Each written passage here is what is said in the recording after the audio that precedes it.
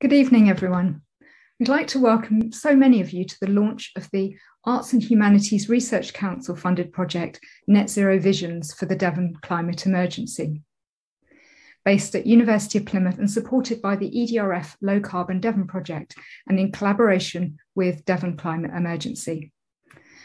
We've got a really packed programme this evening, and so before we begin, I'd like to just mention a couple of housekeeping points. And this workshop is being recorded so that it can be a resource that's available on the Devon Climate Emergency website and other places.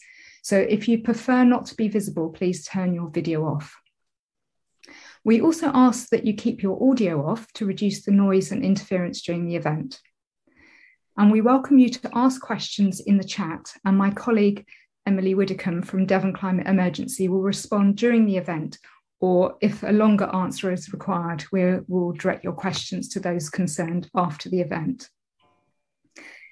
The second workshop, which is taking place on Monday, the 21st of February, will be fully interactive, and my colleague, Dr. David Sargent, will say more about this later. So, first of all, may I introduce you to my colleague at Low Carbon Devon, Rosie Maskell, who is looking after the technical side of the event behind the scenes. So, I don't know, Rosie, if you can say hello. Hello, everybody. Looking forward to hearing from everyone today. Thank you, Rosie. And um, now I hand over to my colleague, Dr. David Sargent. David is Associate Professor of English at, in 20th and 21st century literature at the University of Plymouth, and he is the principal investigator of the Net Zero Visions project. So I welcome everyone and hand you over to David now. Thank you. Thanks, Emma. Um, yes, and to echo that welcome. So I'm based at the University of Plymouth, and I've been working for several years now with people from all kinds of backgrounds and fields on how people can use the imagination of, of the future in their lives. Um, and with Emma, I'm heading up this project. So I guess I'm going to speak for the next couple of minutes on, on why net zero visions. And I'm sure many of you here already have your own answer to that question. Um, it might be that we live in a dystopian age where we're conditioned from to everything from the news we read to the films we watch to think that change is impossible unless it's for the worst. And so we need more positive visions of what comes next. You can't live in a better world till you've imagined it. And that's that's at the heart of the project. And that's true, true enough that people in all kinds of places around the world and different projects have used imagination to generate and shepherd actual change in their communities. But I want to, um, I guess, zero, net zero, if you will. Uh, I'm sorry, net zero in here on some more particular advantages to imagining a net zero future where you live. Because I think that the the fact we need to change, even things like the Devon Carbon Plan, they can start to feel like just more work, more stress, more bother, um, and also hopeless in that however much things change, nothing ever really changes. And so, you know, that smog-filled Street down the road for me will always be like that. Um, those buildings will always be as they, they are. My neighbors won't know who I am and I won't know who they are because that's the way it's always been. It seems human beings are very bad being able to believe things will change for better or worse. Um, and so net, net, net zero visions is a chance to, to take those streets and those buildings, um, to take the world you wake into and walk into and work into, um, and make them different before your eyes in the most drastic and wild of ways, in ways though that are possible and available right now. So this net zero future isn't all uh, you know pie charts about uh, carbon emissions or eating dry pulses or cycling up hills. Um, though I like at least two of those. Um, but it's a future version of a world that we want to live in that's fun, that's more varied, more stimulating, more rewarding, more productive, um, so that we can join the kind of practical and sober projects we all know we need to carry out with this living and breathing vision of a world we actually want to live in, a place you make not just because you have to, but because you want to. And so the end goal being that we raise through Net Zero Visions, hopefully, we raise widespread awareness of the Devon Carbon Plan. Um, we jumpstart a sense that meaningful change is possible for people and desirable. And then we take that energy and use it to help engage people in initiatives that are actually carrying out change. So many of us here tonight are in Devon, I'm sure, but whoever we are and wherever we are, whatever our background, we know that we're all in this together.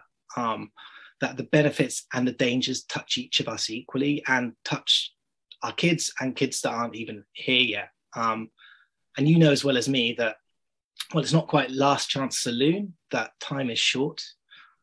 And we as a society, as a community, we won't get this time back. And so we have to make things happen very soon. So in the next couple of hours, we're going to hear from, from some experts on net zero transition, giving us ideas and inspiration about the kinds of things that can happen.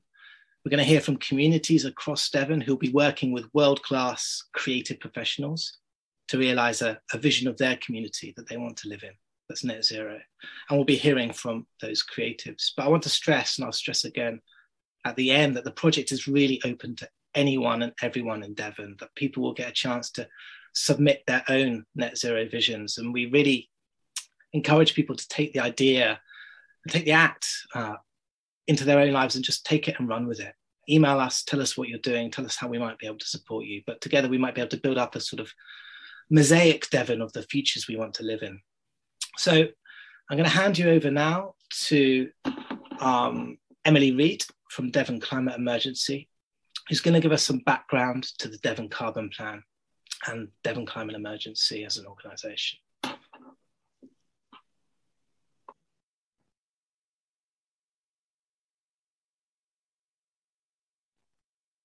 Great, thank you. Just bear with me one moment whilst I share my screen with you.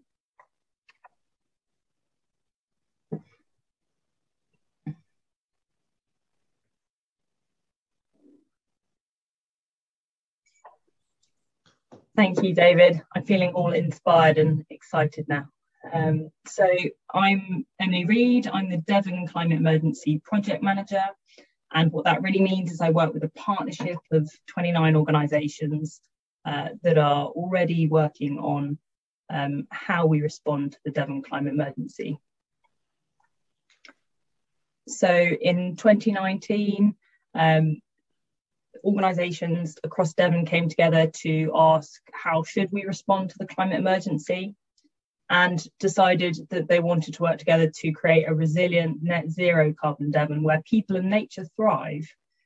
And to do so, they recognise that we'll need to reduce carbon emissions to net zero by 2050 at the latest and improve the resilience of Devon's environment, but also our communities who need to be prepared for a warmer world. And you can see on the right there the organisations that are in this partnership um, and they include all of the local authorities uh, as well, including Torbay and Plymouth um, and the district councils. Uh, and environmental organisations, utility providers, emergency response uh, organisations. So it's a really broad partnership. So what does net zero actually mean? Well, it means balance it means achieving a balance between the greenhouse gases that we put into the atmosphere and those taken out. Uh, so greenhouse gases are um, gases that are produced when we burn fossil fuels primarily. Um, so when you put petrol in your car uh, and you get exhaust fumes out that's a source of greenhouse gases. Plants can absorb carbon dioxide, one of the greenhouse gases from the air. And that means that emissions can be removed from the atmosphere um, by, by planting trees or restoring peat bogs. And so we need to have the activities that emit greenhouse gases and the activities that remove greenhouse gases in harmony to achieve net zero. So the partnership appointed an independent net zero task force it's got 15 specialists chaired by Patrick Devine Wright from the University of Exeter and also one of the authors on the uh, Intergovernmental Panel on Climate Change reports. And they are producing a Devon carbon plan to say how um, and when Devon can become carbon neutral. And this is a plan that sits below the national plans and um, is a strategic overview that works with the, the district uh, council and organisational plans. So, so far in developing the Devon Carbon Plan, there's been an evidence gathering phase. So there's a, a public call for evidence um, where anyone could submit uh, their ideas um, and uh, 859 people responded to that. There was a youth parliament event uh, with uh, 15 schools and 75 students and thematic hearings, which are sort of roundtable um, events that brought together experts to say what are the barriers and how do we overcome them. So from that evidence gathering phase, the task force drafted an interim Devon carbon plan setting out uh, their recommendations of, of what needs to be done to achieve net zero. But they also within that signposted to some things that needed further public conversation uh, because they were controversial or more challenging. And those topics went to a citizens' assembly uh, in uh, July 2021. So we've had a public consultation on the draft interim Devon carbon plan, and we're in March having a public consultation on the partnership's response to the recommendations of the Citizens' Assembly. And these documents will come together as a final Devon carbon plan later this summer to be adopted by the partnership. So uh, here's uh, a snapshot of the climate assembly, which had to happen uh, online due to the pandemic. So what are we trying to reduce to net zero? Well, um, buildings are our largest source of emissions, uh, followed by transport and then agriculture. Uh, this is for Devon, Torbay, uh, and Plymouth combined. Uh, so um, within buildings, that includes the electricity we use and sources of heat, for example, gas, um, and agriculture. Uh, a lot of it is from uh, cows' digestion of grass feed. So we can summarize the Devon Carbon Plan in eight points of what we need to do. We need fossil fuels to no longer be an energy source. Energy consumption needs to be minimal. We need community action for a net zero Devon. And uh, any carbon from fuels that we can't avoid burning needs to be captured so it doesn't add to uh, the atmosphere. We need to, to prevent uh, any greenhouse gas emissions escaping. Uh, so, for instance, they're using refrigerants sometimes, and so we've got to maintain those properly. We've got to develop a resilient local economy, and resources have got to be used more in a more circular manner, for instance, recycling. And we need to maximise natural carbon storage through planting trees and restoring peat bogs, for instance. So you can find out more detail about what we're doing through our website and um, keep in touch through our social media. And there's also tips for you to look at if you want some inspiration. So hopefully that's given you a bit of context. So um, I think now we'd like to find out a little bit more about who's in the, the Zoom room today. So we're going to have a poll that should magically appear. I would like to know if you're a resident of Devon.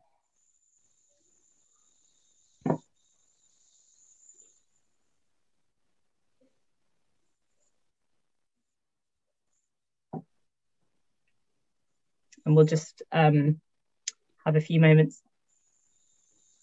Great, so we've got a few people who, who aren't, but the majority of us are, so collectively we can dream up the net zero Devon we want. And there's another question as well.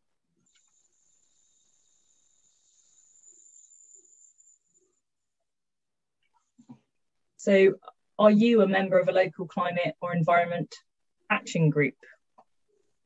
Or would you like to be?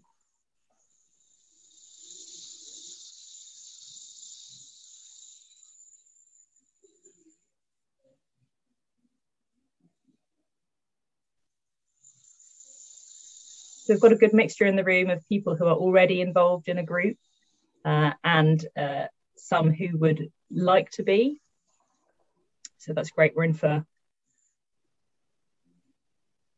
an interesting session. Thank you. So now I'd like to introduce you to James McKay, who we're delighted to have here. Uh, he's been dubbed the man who draws the future. He's an artist and an illustrator who works with scientists to help communicate their research and help us visualize it. So he paints both ancient and future worlds. Um, and he's he's uh, led some really large collaborations with hundreds of school children, uh, artists, scientists, and community groups to produce visions entitled Dreams of a Low Carbon Future. And this included a graphic novel depicting uh, zero carbon UK in 2150. So um, I'm delighted to hand over to James. Uh, hello, everybody. Um, I'm just going to share my screen and get my slides up.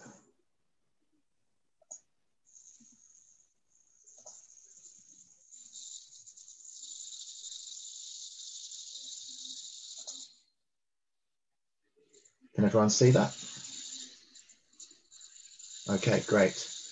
Um, so I have uh, about 15 minutes and I'm going to do a whiz through my slides. I've got far too many, um, but uh, hopefully it will be an exciting uh, trip through um, the last 10,000 years and into the future. Um, so um, as um, Emily just introduced me, I work with scientists to communicate future visions, uh, especially positive future visions. So that's what I'm going to concentrate on tonight. Um, so I'd just like to show a picture that I'm very proud of that explains a bit about my work. So this is the sort of work that I've produced with scientists, uh, which became a picture on the cover of Nature magazine, which is one of the top uh, science journals in the world. Um, and this is actually to do with climate in that scientists had discovered uh, a subtropical rainforest at the South Pole which was growing during the time of the dinosaurs when there were huge um, rises in greenhouse gases uh, naturally. And um, it meant that um, the poles were covered in, in forests. And um, it just shows you that, um, you know, the, the world sort of finds a way to deal with uh, raised temperatures and raised greenhouse gases. But remember that in these times that there were millions of years when plants and animals had time to evolve uh, to those kinds of conditions. Uh, so this is the kind of work that I do with, with scientific groups. Uh, this is a picture of me working on that image. So I'm in my studio uh, working on the research behind it. So lots and lots of different versions. James, the... could I could I interrupt you? Sorry, one moment. I think um, some people are um, we're not seeing the slides in perhaps the way that you want us to. We're seeing the um, the, the PowerPoint program, and then where the image isn't changing. Oh, okay. Sorry, sorry to interrupt you. So, can you see the picture of me in my studio? No, we're still on a dream of a low carbon future. We're still on the first slide. Oh. Okay. I'm not sure what's happening there.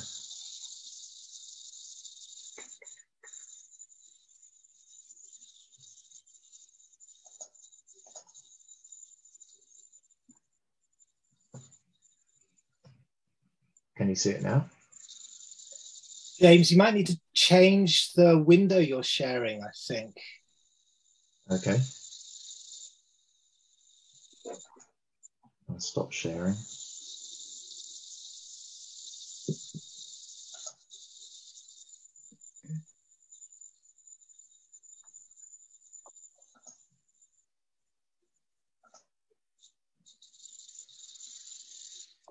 Okay, can you can you see that?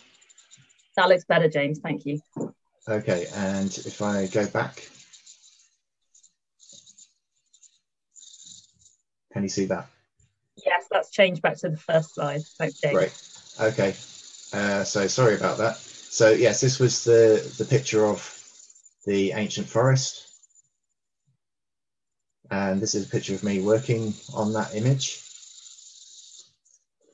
Um, so I have a background doing um, comics and concept designs for uh, lots of different projects. So these are pictures of uh, ancient um, worlds and science fiction worlds that I worked on.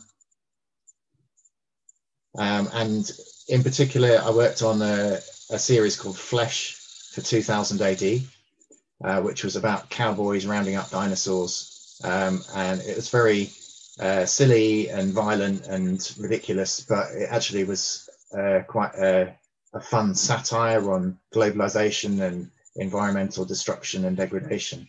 Um, so um, that sort of was part of my uh, my interest in in uh, environmental work as well. Um, so my work has all been about positive futures. So this cartoon by Joel Pett um, is really sums it all up. Um, it's about creating a better world. All the things that we do to tackle climate change will result in having a nicer society to live in. Um, and so we've got every incentive to go for that, even if it wasn't um, in order to tackle climate change. But obviously we have the, you know, the, the incentive that if we don't do anything, we'll be in a really bad position. Uh, this is um, some images from the projects that I've led. Um, some of them were funded by the Royal Academy of Engineering, who have a, a really great scheme where they team up artists with engineers and scientists. Um, so we worked on uh, these graphic novels, which are available to download. Um, you can find some of the links in the program that Emma shared um, on my uh, biography. Um, but uh, we worked we went, went with hundreds of schools loads of communities and the important thing was the children worked with the scientists as equals. So they were sitting around a table with um, really senior world leading scientists with students with members of community groups and everyone was there as an equal. Uh, this is a, an example of some of the images that children came up with um, showing their sort of ideas about uh, fantasy science fiction technologies and and uh, they're really cool um, thoughts and, and, and visions. Uh, these were children who were about 10 years old, 10 or 11, so really impressive. Uh, so those were the, the uh, graphic novels that I've worked on and um, that kind of project.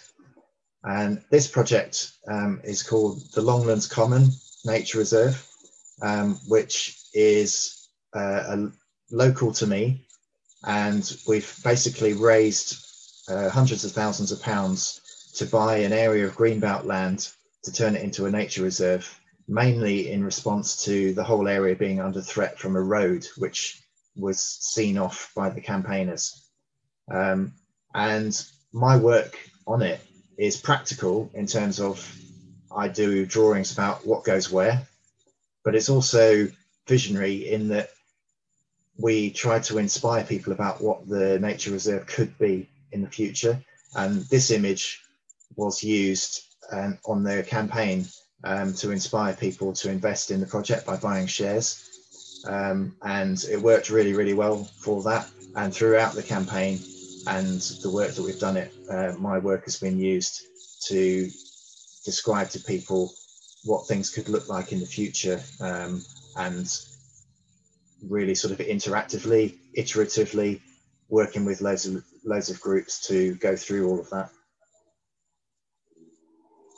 Um, and my work has been highlighted by Rob Hopkins, who I'm sure everybody here will know. Um, so he uh, created this book, From What Is to What If, um, and it, I'd really recommend it to anyone. Um, he talks to loads of different people about their visions of the future and how they use art to do to uh, create their their their imaginative creative visions of the future. So i'm going to do a quick run through of uh, of my take on on history. This is unashamed from a, an artistic point of view. So it all begins with humans using fire um, and obviously there were many reasons why we invented the use of fire, but the really important one is that it enabled us to change the landscape. So there's a lot of evidence to show that prehistoric peoples really altered the balance of the Earth's ecosystem even before modern technology um, by setting fire to large areas and in that way enabling their hunting to be easier, um, changing the conditions to, to suit them. And I would argue that it was from that point it was inevitable that we would get into this current mess. And then we uh, invented farming, which has been called the worst idea in history. So we went from having a nice time running around um, in nice environments to being trapped in one place, uh, backbreaking labor, poor health, loads of diseases. But importantly, it meant that we could build up surplus food, um, and that meant that you could feed larger communities and that elites could control those surpluses. So that led to the rise of empires. Uh, so we see big empires spreading across the globe.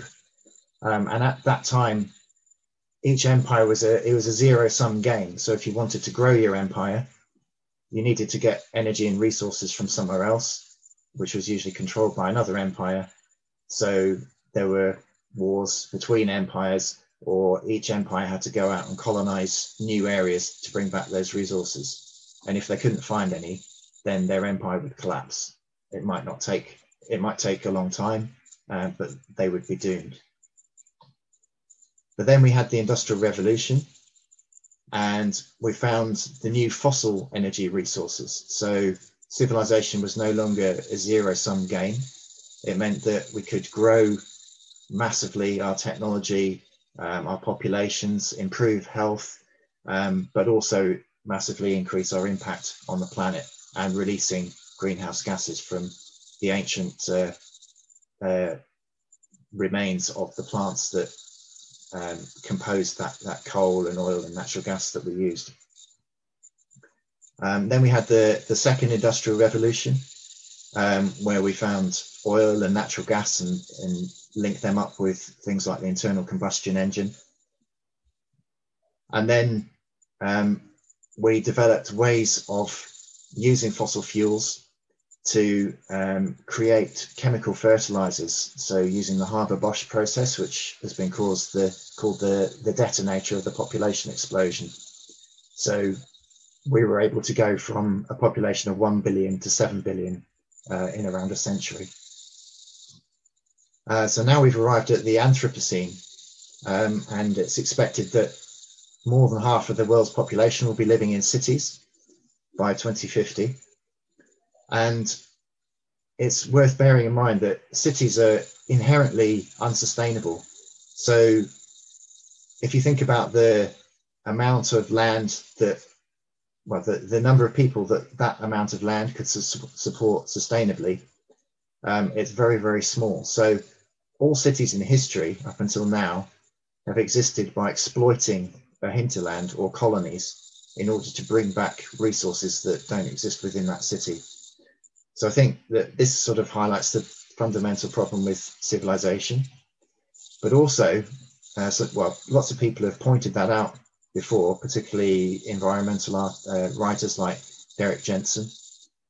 But I think my hope is that we now have the knowledge that we've never had before, which will enable us to create the first uh, cities and civilizations that are sustainable. Um, so I wouldn't be doing what I do if I didn't have that hope. Um, and you know, I believe that that we can do it. It is feasible. It's not even particularly difficult if we can find the will. Um, but obviously, it is uh, worth bearing in mind exactly what kind of a problem we, we're up against. So it's been called a super wicked problem, which is a, a kind of a technical term. So it just it doesn't mean that it's a, a really horrible. Um, it just means that there are certain definitions of wicked problems. Um, so obviously everything is intertwined. The key thing is that we're making it worse at the same time as we're trying to solve it. So when people laugh at, at, an environmental activist for flying to a climate change conference um, and call them a hypocrite. That's all part of it. You know, I, I'm doing things at the moment that are unsustainable, but I'm trying to solve that that problem. Uh, so we have to kind of appreciate that, um, but not get bogged down by that. The other thing is that it's it's a slow motion event and very uncertain.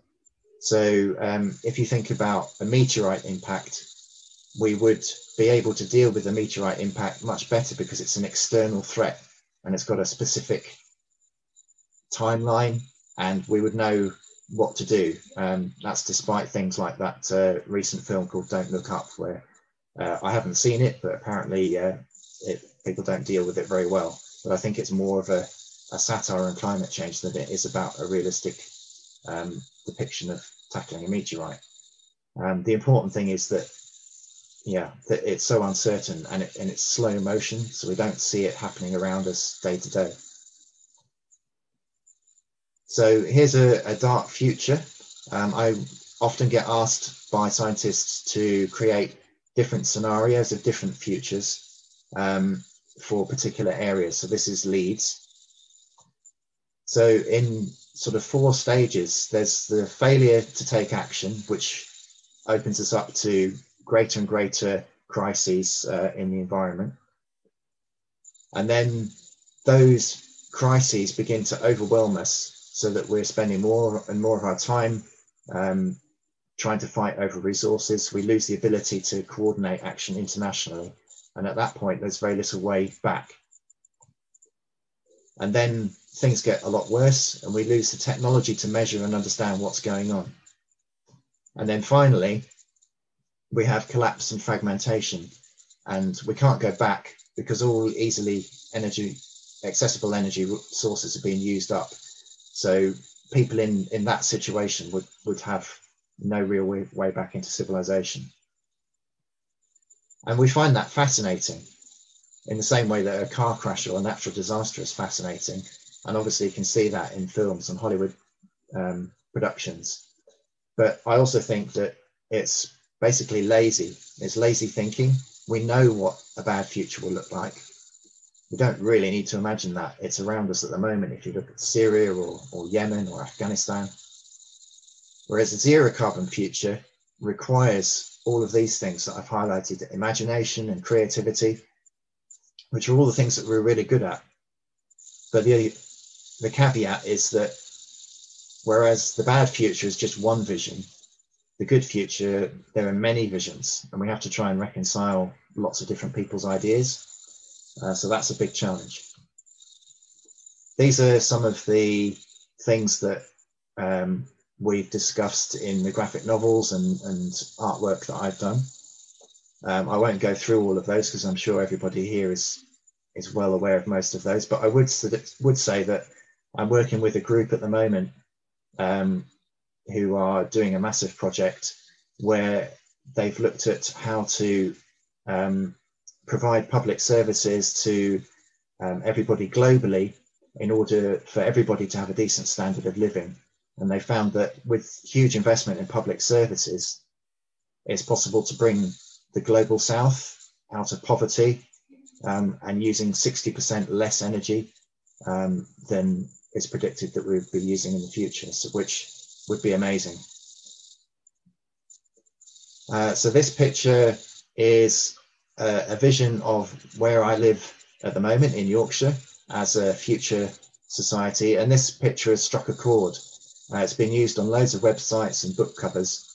I guess because it's it's sort of almost like an overview of lots and lots of different things happening at the same time. Um, so yeah, this one has really seemed to inspire people.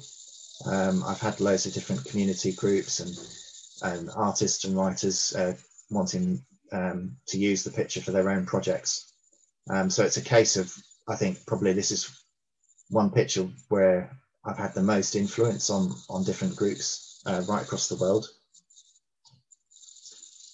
Um, and then there is also, um, when we're talking about climate change, it's not just the, the mitigation, the reduction to net zero, it's also the adaptation to the warming world that uh, David talked about earlier. Uh, so this picture is a nice one by John Swagger, who's a, an artist friend of mine. Um, and it shows the, the mitigation, the, the reliance on renewable energy sources, but also the, the defenses against the rising sea levels. Uh, this is a, a, picture I was commissioned to do in Leeds, uh, where there's serious flooding issues. Um, so artwork can be used to show the different um, the different options available to us. So we have on one side the flooded city with rain rushing off the moors, and on the other side, uh, tree planting and built buildings of swales and all that kind of thing. Um, and really importantly, um, my visions um, have all been of real places. So it's I'd caution people against getting carried away by creating sort of net zero visions um, from scratch. Um, it's easy to draw a green city that looks lovely um, or a wonderful um, commune or, or something like that. But if it's not situated in its landscape and with the historic buildings and the infrastructure that's already there, then um, it's really not sort of saying very much. Um, so we've always done that in the projects that I've I've led. Uh, this is a shot of Harrogate, um, which uh, is near where I live, and there's a, a big public park called the Stray, um, which is jealously guarded by a really big community group, and they keep it flat like a bowling green, um, with no life on it at all, apart from the occasional tree. Whereas I've rewilded it here, um, and this was guaranteed to cause outrage among all the uh, the, the, people involved. Um, but it, it, certainly set off some really good conversations um, at an event that we had last year.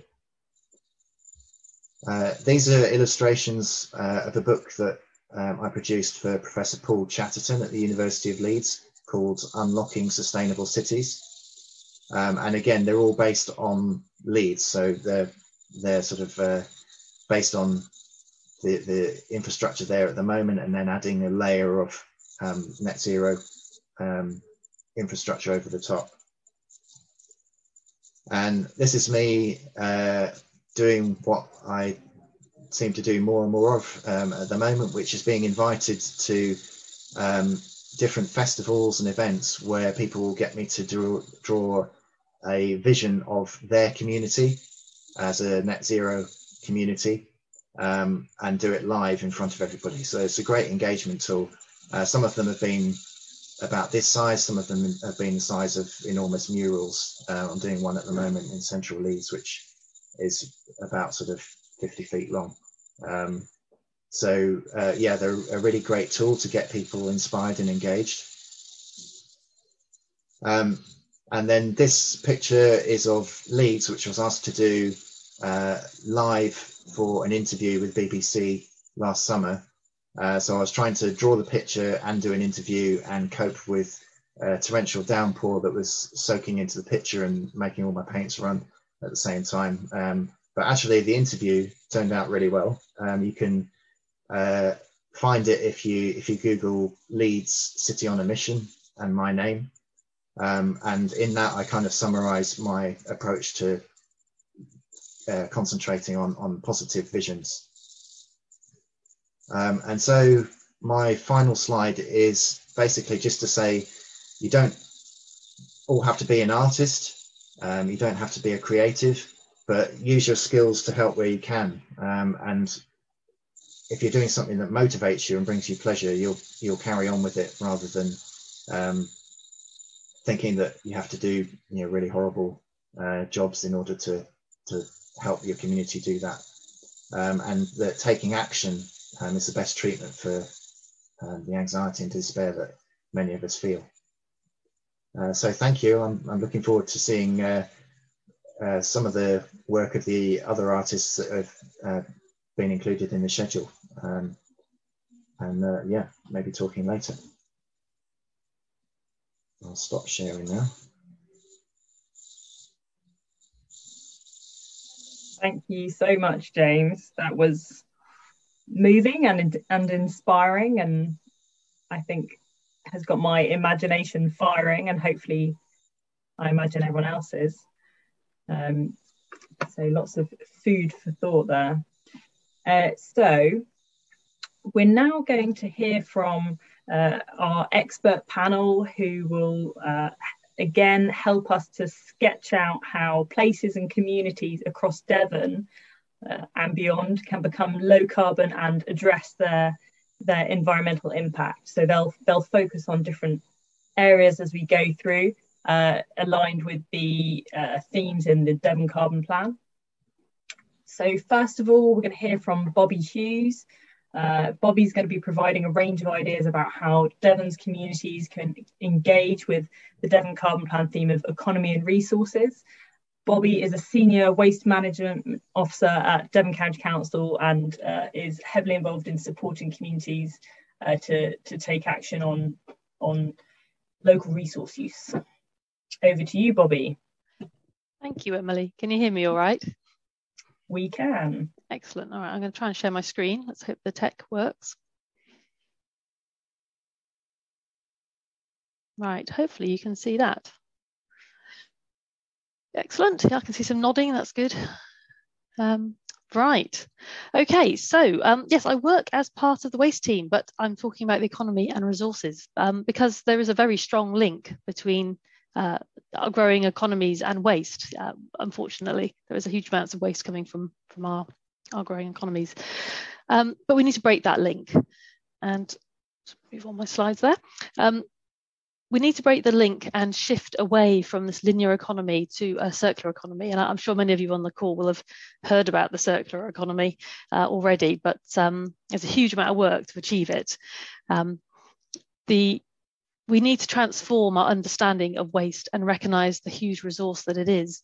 Uh, there's so much embedded carbon um, uh, within our, our resources that we, we need to, to sort of realize I mean, it's 45% of global emissions can only be tackled by changing the way we make and consume products and food.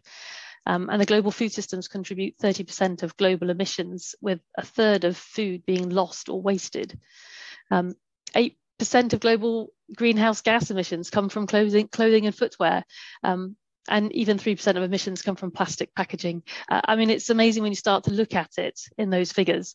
Um, and we tend to think, have this narrow focus on, on just, oh, we have, must recycle more, but actually recycling is only a tiny part of the answer. We actually need a, a much bigger uh, systems rethink. So the circular economy has many benefits, many, many benefits. Um, it will help us to design out waste and read and, and design in reuse and repair models. Um, we we need to upskill and reskill the workforce, and there are huge opportunities within the circular economy to do this. Um, potential for new jobs, green growth, keeping resources in circulation rather than the sort of throwaway culture that we currently have. And we can reduce our impact on nature and the climate by, by bringing in the circular approach. And so help economies and communities to thrive. And, and this, this term, build back better, would really mean something if we could create this, this circular economy. So I, I get the joy of working with lots of community groups and, um, and, and they're driving change all the time in their local communities. So you know, when, as I say here on the slide, when communities come together, great things happen. And there's just a list there of some of the projects that are going on in communities all across Devon and across the country. Um, so we have uh, whole range from food surplus cafes, libraries of things, um, eco hubs popping up. Um, I'm going to talk about a few of them, not too many, but as I've got a very short space of time. So repair cafes, I have a particular love of repair cafes. I, have run a few myself um, in my own own community. Um, they're a great example of where um, communities come together, skilled volunteers that give their time and expertise for free, and they fix other people's broken items. And as part of that, they're, they're passing on skills as well and, and helping to teach others. We currently have about 15 repair cafes in Devon, but there's more setting up all the time, and we support those cafes wherever we can to, to set up. Uh, and they do fix a very wide range of things depending on the their volunteer pool because they, they are uh, volunteer run. Um, they usually run monthly, but they can vary a lot. Um, but uh, the great thing about repair cafes is they're really challenging this this throwaway culture and making people think about how they use their items and how they can reuse them and repair them. And um, and it's helping to um, engage industry because uh, the and legislation because legislation is changing to allow people to repair things. We've seen those shifts happen the last year or two. Um, uh, and uh, so repair cafes and they, they, offer so much more uh, and i'll talk a bit more about that later on. It's not just about fixing stuff but they can help fix communities i believe as well in so many other ways community fridges are another wonderful project that's popping up there's loads of them popping up everywhere and we've got specific projects to help with community fridges so if you've not come across a community fridge yet they are um, publicly accessible community fridges and larders where surplus food, often from local businesses, but also from homes, uh, is put into those uh, fridges and larders because it can be in sort of ambient space as well. And they're free for everyone to, to help themselves. It's, it's not about how much you, you know, it's not about need for these particular fridges. It's about just cutting down surplus waste. We currently have 14 known community fridges, but actually there's loads popping up all the time. And there's a lot of overlap with um, food banks and um, and the, COVID has really highlighted the need to better manage food and and um, and the food poverty issues. But from my our perspective, it doesn't have to be about food poverty. It's just about minimising waste. Um, anyway, there's loads of fantastic projects there. They're setting up all the time. Far, far more of them. Um, I shall. Oh, I've got some words missing on that one. There we go. Um, other projects setting up. Um, the, the picture on the top right hand corner is uh, Nicky Scott, who some of you might know, who is the composting guru in Devon. He's talking, he, he went um, to the Bishopsteignton uh, Sustainable Bishops uh, um, event and he talked about home composting and uh, worked with the, the community group there. And uh, the picture below is a community composting site. So there's lots of potential to, for community groups to engage in composting, managing food waste more sustainably. Uh, food waste actually makes up 30% of our dustbins, our residual bins, which is ridiculous, but it does. Um, so we need to tackle food waste um, at source and get people composting more. Uh, and uh, community groups are a great place to do that. And they link really well with food growing projects as well. And uh, a lot of interest in food growing projects. It's going to be very important moving forward uh, into a more sustainable future. And um, another sort of uh, project that's also taking a lot of people's imaginations and, and turning into realities is, is libraries of things. libraries of things are wonderful. They are um, projects where basically you can borrow stuff and it's great.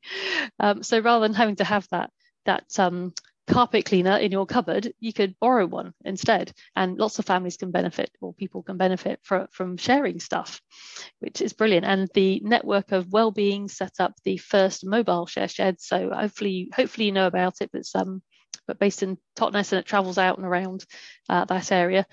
Um, and uh, it's a brilliant project and, and there's a lot of interest in setting up more libraries of things and they the network of well-being and the share shed have been very good about sharing that information with other communities and then I just wanted to talk uh, very briefly about the fact that um, there are some projects that have been around for a very long time tackling the waste resource issue, actually. And I, I thought back, because I've been in waste management for quite a long time now, and these are just a few of the projects that have been around, some of them since the 1990s, and they are fantastic examples of community-based projects that are making a difference. Uh, and I particularly like Proper Job. I mean, all these projects on this slide are brilliant, but but Proper Job is a really good example because um, they've helped to springboard small businesses and um, enterprises from themselves, from, from their own enterprise. I mean, they're a charity themselves, uh, but they only became a charity a few years ago. Uh, but uh, there's potential in all these they also all these community projects here employ people. So a lot of the earlier community projects i was talking about a lot of it relies on volunteers. But actually out of those ideas and those community projects come um, the potential the potential for creating um, community interest companies and uh, small enterprises that could help to start to help us relocalize our economies and to start to use our resource and keep our resources more local so uh, if you get a chance to start to look at some of these projects, highly recommend looking at them for ideas for your communities, uh, both the, all the community fridges and repair cafes, but also these long-standing projects that have been going for 20 odd years because they, have learned a, a few things over the years. And so just my, my last slide, because this was only meant to be a very quick talk, um, is that these projects aren't just about being green. Um, they are place-based and people-focused which I think is absolutely key to the success of projects. They bring people together and strengthen communities, which is why I, I love particularly repair cafes because uh, the, the sharing I've seen going on at repair cafes is wonderful. Um, they enable us all to share our skills and learn new skills. And, um, and I think that really does benefit people's well-being. We're trying to find ways to capture this better because, you know, people who engage with their communities and do things generally have a better sense of well-being. They can help to tackle isolation. Uh, we find a lot of um, people who come to repair cafes, they come because not because they want to save the world or, or, be green, but because they absolutely love fixing stuff and they love sharing that ability to fix stuff with other people. And whatever the reason that brings them through that door, it, it starts, uh, it creates an environment where people can share ideas and talk and create that new that new future. So I think a lot of these projects, um, once they get themselves up and running, they also inspire other communities to take action and you get this sort of ripple effect across communities. Um, the repair cafes and community, community, fridges have been particularly good examples of that of, of recently in the last couple of years.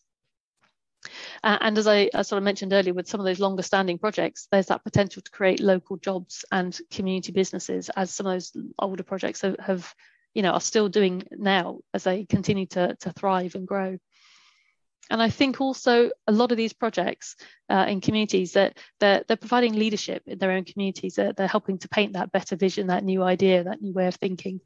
Um, so I, I hope that, that all of your communities will consider ways of tackling their, their resources and their local economies through, through thinking about waste differently and how they can tackle that locally. Great, thank you, Bobby. That's brilliant again to, to see images of communities already taking action and uh, looking like they're enjoying it in the process very much so. Um, and I must say, I recommend the ShareSheds um, party set if you need 60 plastic plates and cutlery. It's very useful. Um, so uh, we're going to hear from Olly Frankland next, who's going to be sharing approaches uh, to uh, about how Devon's communities can engage with the Devon Carbon Plan's theme around energy supply. Olly is a project manager of electric vehicles and innovation with Regen. So over to you, Olly. Brilliant. Uh, can everyone hear me? And is that working, Emily? Just quickly. Fantastic. Um, yes. Actually, Good Ollie, evening, everyone. Still, you're still on the. Um, we can see the sort of the back end of PowerPoint, as it were, rather than classic. Hang on a second.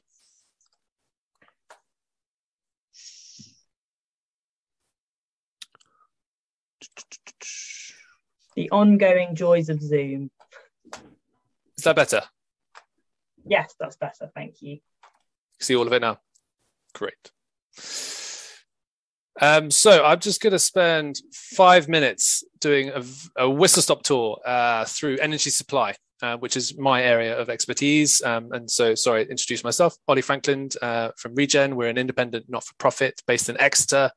There is around 30 of us now uh, working to try and decarbonize the energy system in lots of different ways. Um, and I haven't got time to go through them because uh, I've been given five minutes. So I will try and stick to that very diligently. So, um, first off, so uh, yeah, I've, I've, structured it in, in, kind of four sub themes that are in the Devon interim carbon plan, um, which were focus areas. So, um, I, apologies, it's probably not as visionary uh, as, as some of the other presentations we've seen tonight already. But I, am trying to kind of do a kind of status quo slash what we should be doing, perhaps in the kind of near term rather than in the kind of futuristic or, or visionary approach in where we want to be. Um, but so first off, it's kind of we really need to use less energy, um, and as Emily alluded to, it's the main two aspects that we need to reduce are, buildings and transport, particularly. And uh, the graphic on the right there is around so the buildings aspect, I'm not going to cover this in very much detail, but broadly, um, it's heat pumps and it's insulation. And this is a, a kind of a, graphic of Energiesprong type solution, which does a whole house retrofit in one go, uh, manufactured offsite, um, reducing the kind of impact uh, on the on the uh, household um, and gives a, a, kind of net zero house in one fell swoop rather than doing an incremental approach over a long period of time. Um, so that that's kind of one way we can kind of do it for buildings. We need to kind of carve off how much energy we supply to buildings and also make buildings able to supply energy or uh, produce energy through solar panels, for example, on that, that one there. Transport is another one. Um, obviously, moving towards more active transport, walking, cycling. Um, obviously, I've, I've, got a quick, small picture there on, of co-bikes um, in Exeter, shared electric bike scheme really useful uh, way of um, reducing the, that energy use is by sh shifting to active travel and also electrification of transport more generally. So if we use public transport next. So our buses and trains need to be electric, and then uh, private car use needs to be electric as well. So just I won't steal um, uh, my other other experts' thunder anymore on that. The other kind of sub theme that comes out in the interim Devon Carbon Plan is that that kind of the real need to transition to renewables even more than we already have done. There's been a fair a fair crack at the whip in terms of the power system. We have got a good amount of wind, particularly on the system, particularly offshore wind recently.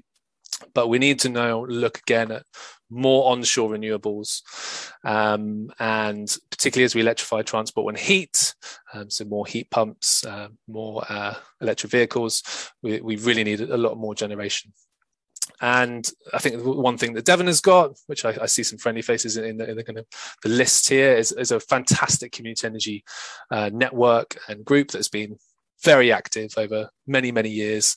And this is a kind of a, a very high level map of some of the kind of key uh, case studies that we already have in place. Um, and I'm not going to go through them all but I'll just pick Plymouth Energy Community, who have done at least one solar farm and are planning another one on an old landfill site. So that's a fantastic use of brownfield um, land, and we're producing lots of renewable energy. So those kind of examples, and I, I, think we should be well aware of the kind of the benefits of having community owned or locally owned by the local authority um, renewable energy assets. It's not a commercial entity that kind of gets that revenue. It's keeping all that other revenue in the local economy and, and trying to get the benefits of that it's a kind of educational opportunity. Um, there's lots of other social benefits for for having kind of community community owned um, assets. So I think that's one thing to try and strive for is as much community owned assets as we possibly can um, go for. And then the third point there is local supply tariffs and options being, and other options being considered. So if we can generate locally, can we supply it locally? Uh, and there are that can be very challenging, and there are lots of kind of impediments for doing so. But there are some nice models starting to kind of crop up. Um, energy local clubs, there's a few of those um, starting up, and I believe there's a there's a plan for kind of a, a Devon electricity tariff of some description. So trying to um, nestle uh, the supply of energy um, closer to hand and ideally match it with the local generation of electricity is going to be crucial. And that's really got to be part of our vision in terms of the future, future electricity supply system or power system generally. And to deal with all that new renewable energy that's coming on the system, we're going to need a lot more flexibility and energy storage. Um, so the kind of this is a very high level graphic, but broadly it shows the change from the current energy system, which is very top down, large power stations, um, coal fired power stations predominantly previously, and nuclear, and, and the, kind of going down the system to our homes gradually. Um, we're moving to a much more and are in the process of going toward, towards a decentralized system where we have a lot more producers, small scale producers, medium scale producers of energy. But I think the, the, key to the key thing to focus on is that a lot of those uh, the, the demand side that they need to be flexible in how and when they use their electricity and helpfully uh, the electric vehicles and the heat pumps that we're moving to are very good sources of that flexibility that can be used in the home and in businesses um, and so we can um, charge our electric vehicles at, at, times of the night when we've got lots of wind on the system, for example, soak up all that wind that we'll have on the system. So there's really good uh, uh, opportunities there for, for flexibility. And the second point there around energy storage. So we're going to need a lot more energy storage, which is kind of a crucial technology, um, mainly battery storage at the moment, but there's other uh, really interesting technologies coming along, including hydrogen, um, liquid air energy storage as well, which is a, kind of a new one as well, um, flow batteries. So uh, having that ability to soak up excess renewable energy generation when we overproduce, and then also uh, export when or use it locally and when we when we need it more um, to kind of deal with our own uh, demands on site and in our local communities is going to be absolutely crucial. And the last uh, theme or sub theme within the interim Devon Carbon Plan on energy supplies is potentially looking at how we can pilot carbon capture and storage. And there's two big energy from waste sites in Devon, um, one in Plymouth and one in Exeter, and they seemed like the best uh, points to in which to try and pilot carbon capture and storage. Quite a long way to go until that can happen. Uh, some big changes in technology are needed and some re- reductions in costs, uh, but that's that's on the cards, as it were, in the inter- in the first um, draft of the interim Devon Carbon Plan. So apologies, whistle stop tour of energy supply. Lots more I could go into, but um, I'll, I'll leave it there in the interest of time. Great, thank you, Olly. That was a really helpful overview of um, how we need to change our energy supply going forward. So uh, now I'd like to welcome uh, Dr. Satish BK, uh, who's going to be discussing how Devon's communities can engage uh, with the Devon Carbon Plan theme of the built environment. Satish is uh, Associate Head of School uh, Teaching and Learning at the School of Art, Design and Architecture at the University of Plymouth. So I'll, I'll hand over to you, Satish, to introduce yourself in more detail. Thank you, Emily. Could you see my screen? We can indeed. That looks great. Thank you. Excellent. Thank you. And uh, thanks for the introduction. Um, I can go for this presentation two ways. One is just this one slide, because if, if I think about this more and more, uh, all I feel is it's the difference between our needs, wants, and greed. And if we all stick to our needs, probably we don't have to have any further conversation it, it's that part of the requirement of us as humans in terms of our aspirations, our values, and our culture, and how that informs our uh, uh, consumption is what drives most of my research. And uh, uh trickily, uh, I might be going tangentially today in terms of um, uh, trying to chart the trajectory of what the national, international challenges, what we're facing, but more so how that could inform some of the initiatives, what the Devon community could uh, look forward to. So uh, probably might find me going completely off the track. Uh, uh I'm sure all of us have seen this.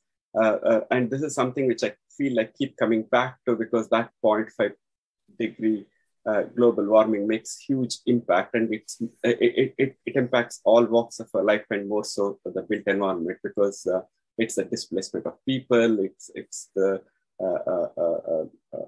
rising sea level and its impact in terms of the cities or the, uh, the places where we live is what uh, really makes the difference when we talk about the uh, built environment. And uh, uh, needless to talk about these figures, but uh, these are the striking ones because if, if, you carefully look at it, we are talking about nearly half of it, or the 40% of energy consumption or the carbon emission is coming because of the built environment. And that's what makes this particular uh, uh, sector um, more important. And if that is at the global level, in fact, it's no different at the national or even at the Devon level uh, as I check the latest figures. And uh, we are consuming, uh, uh, rather emitting nearly 42% of the carbon. And the challenges what we face here in terms of a built environment is quite complex because, as you could see later on in my slides, we are not uh, looking at one aspect or one dimension in terms of whether it's just reduction of carbon emission, but it gets quite, uh, as uh, uh, uh James uh, very beautifully articulated, quite complicated in terms of quite a few factors coming into picture. on the brighter side, looking positively, um, if you had asked me the same question two, two and a half years ago, uh, I would have been in a completely different position to answer in terms of where we stand, in terms of the profession, in terms of the uh, uh, practices, in terms of the uh, uh, professional bodies. But things have changed in the last two years. for instance, some of these key professional bodies like uh, Chartered Institute of Builders, Royal Institute of British Architects, and they have all come with a very useful and quite appropriate and relevant guidelines for their professionals. And uh, uh, in particular, say the one which I'm referring to here, the RIBA Sustainable Outcome Guide, is extremely useful if, if you are looking at any of the new uh, buildings or uh, built environment in terms of your uh, uh, cluster neighborhood or at the village or city level. because it, it's quite evident if we don't do anything, if we continue as usual, the impact what it has to if we can take measures, how we can really bring down our carbon emission and really achieve the uh, uh, net zero by 2050. And that, that's quite important for us to appreciate.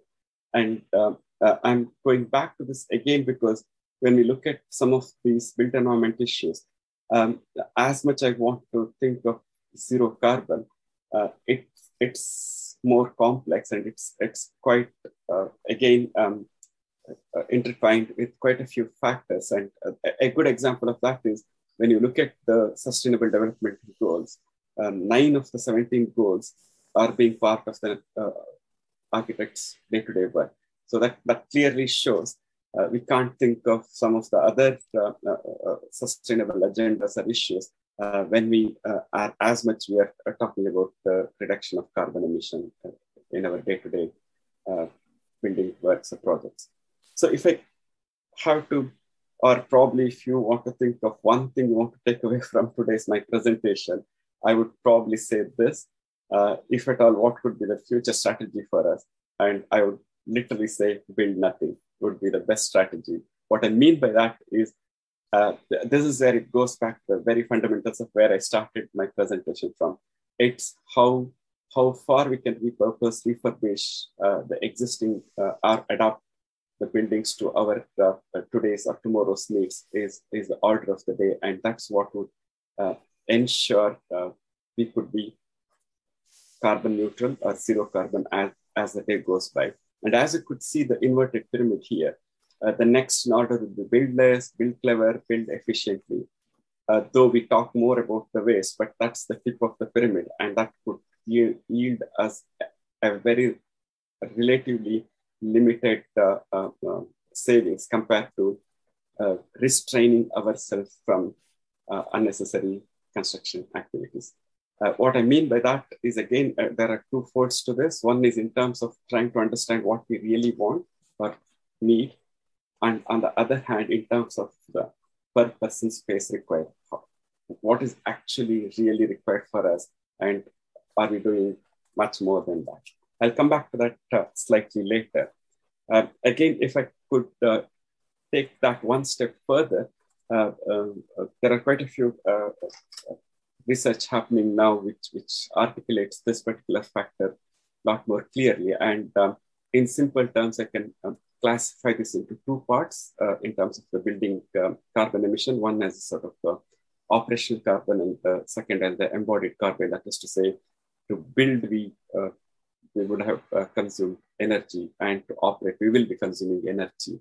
And uh, it's in that simple sense uh, uh, and again, getting the sequencing in terms of ensuring that we build such a way that we ensure the building needs least amount of energy. So that's what we call it as passive architecture or passive technology or passive uh, uh, means and modes of uh, uh running the building. So if we can ensure that we don't need energy to run the building, that's the best way of looking at how, how we can uh, make our future sustainable. If not, ensure the building is act, using the active strategies, that is to say, how you could make it as, uh, uh, or rather, uh, zero carbon in terms of the uh, uh, technology, what you use, and ensuring that the operation becomes zero. And similarly, when we look at the embodied energy, it's, it's about, again, going back to the transformer reuse and build less, build clever, and build efficiently. And of course, there is this last option of certified offset, and uh, uh, personally, I would say don't even think of that because uh, that's that's not the way ahead for us. That probably may uh, probably some uh, flights or uh, charter people may think of offsetting, but not if, if everyone starts thinking of that. That's that's not where we want to end up at. If we focus again, looking at the brighter side of it, this is a really good graph which clearly shows you it is possible and we we can achieve it. And I think that's that should be the positive approach and attitude from which we can go forward in terms of, and as I said, since built environment uh, looks for nearly 40% of the carbon emission, and if we can manage that here, uh, I think we will be a lot more successful uh, as we go forward. And the best part of this is, uh, uh, uh, I mean, as much I don't believe in top-down approach, I, because I firmly feel it, it's the participation, it's, it's the bottom-up approach what gives the maximum result. But in this particular case, it's, it's equally important for us to see what the policy interventions are at what stage in terms of how, how we can get the benefits uh, at, at those key stages. And uh, this would be a really useful tool for us to start understanding how we can really achieve from where we are now 180 uh, metric ton of carbon emission to literally bring it down to zero uh, and using those key strategic policy interventions at those uh, decades or uh, uh, years as it moves. Uh, there is one myth. I, I can't say myth because that's a fact in terms of anyone I speak to or ask for, though they can understand, and, and this also goes back to the psychology of consumption we all believe in, uh, understand, believe, and want to do, but we won't do because it costs more. Uh, and uh, the uh, construction industry is no different to that.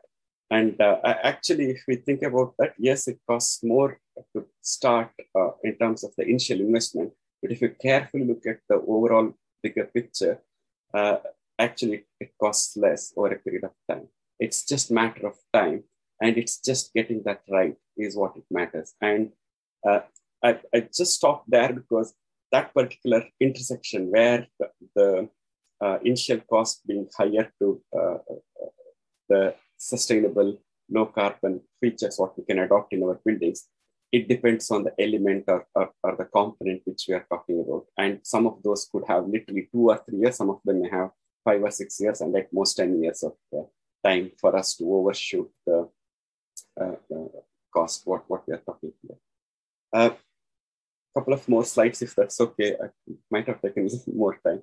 This is again just to give you an idea how, if we are clear and smart, we can easily achieve these goals by overlapping this onto the uh, plan of work in terms of how each stages of the, at, each stage we can reduce our carbon emission. And again, it happens more so at the pre-design at the client's brief stage and when we interact with the clients and we talk to the community and when, when those things are sorted out. And I just thought I'll show you it is possible and it is uh, not necessarily uh, uh, done for the sake of doing it. It could be beautiful and it could be aesthetically pleasing as well. Um, I'll just leave you with a couple of these uh, conscious of time in terms of uh, uh, you. There are quite a few works happening at the national level. So some of those, again, as you could see, it, it all always goes back to highlighting on the uh, using the existing uh, building stock. And that's where the key lies. And I'll just conclude by talking about this one aspect. As I said, I keep coming back to this that uh, as much we talk about uh, net carbon, it's not just about the carbon emission, what it matters when we talk about the built environment. It's, it's about the other further dimensions in terms of the what I call it as environmental and social sustainability. And for me, uh, uh, though we, we talk a lot about, in fact, even I teach a lot about the fabric first approach in terms of how we can reduce carbon emission. But I sincerely urge we start thinking about uh, the human centered approach. We start thinking about the health and well being, the happiness of the people in the spaces, what, what we create and generate, because 90 to 95% of the time we spend in these buildings and if you are not happy, if you are not healthy, uh, it just doesn't make sense for me to think of uh, zero carbon. And uh, the best part is that both can be uh, uh, not contradictory, rather complementary. And most of my work now is uh, actually looking at those, the impact of Uh, ventilation, impact of the way we live, and how that makes the difference in terms of uh, are we considering our culture, our background, and how that would have impact in this uh, uh, uh sustainable houses and schemes to uh, follow in my most recent RIBA research project. I'll stop there. And this is a useful tool if you want to look at for further understanding of net zero operation carbon. Thank you. Great, thank you, Satish. That's, that's been a really helpful uh, contextualization of, of putting the built environment sort of in relation to the other themes in the Devon Carbon Plan, particularly it's, it's good that you followed Bobby talking about resources and, and sort of how we need to use our resources and, and Olly talking about energy because uh, you've just brought those together really well, talking about the built environment. Um, so thank you, that's really helpful. Um, so now we're going to go to Professor Stewart Barr, who's going to be unpacking how Devon's communities can engage with um, the theme of transport. Stewart Barr is Professor of Geography at the University of Exeter um, and uh, is going to yeah help inspire us as to what we can do here in Devon. Okay, great, thanks. Can you see my slides okay? Yep, they look they look good. Thank you, Stewart. Brilliant. Thanks very much. Thank you for the invitation um, to say a few words here. Um, and I want to talk about um, what is another one of those um, wicked policy problems um, that was referred to earlier, um, which is transport and mobility, which is so central to the way that we live our lives today. and which we know that accounts in Devon, as other parts of the UK, for a, a very large amount of our carbon footprint. And I want to take inspiration from uh, what the first couple of speakers said, which is really that we we do have a lot of hope here. And I think we can be very optimistic because not only can we deliver benefits for the climate, I think we can make our own lives and the places that we care about so much, um, Devon and where you live in Devon, much better. So the, the, the kind of message I want to send is that we can improve our lives and we can live and move better um, through also helping the climate. And um, hopefully, I'll show you a little bit about how we can do that. Um, the images you see here, some of you will recognize that the right hand image on the slide is from Fore Street in Exeter. This is one of the occasions that um, they had various activities in the street on a Sunday afternoon.